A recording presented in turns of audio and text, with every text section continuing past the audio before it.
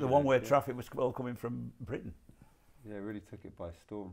Yeah, but it, it, it and it was sad in a way because going to the states and going out in New York after hours, like down the the jazz clubs like the Village uh, uh, Vanguard, uh, uh, you know, I could I could sit there with like my feet on the front of the stage and there's uh, Miles Davis or, or, or Charlie Mingus playing there. There's a few people drinking an, an odd beer. It, it's like it, it, it, people thought, well, maybe our music, American music's not not not hot. It, it was it was weird. I, you, you, I was sitting, you know, like uh, side by side with my idols, uh, and there's no, there's no, uh, you know, fan hysteria. Like, the, yeah, in complete contrast yeah, to what, yeah. what was happening. Uh, and. American bands were trying to sound like British bands, you know, Yeah. uh, I mean, it like was the defining bands. sound of that era, really. Yeah, yeah, it, it, it was it was unbelievable, really.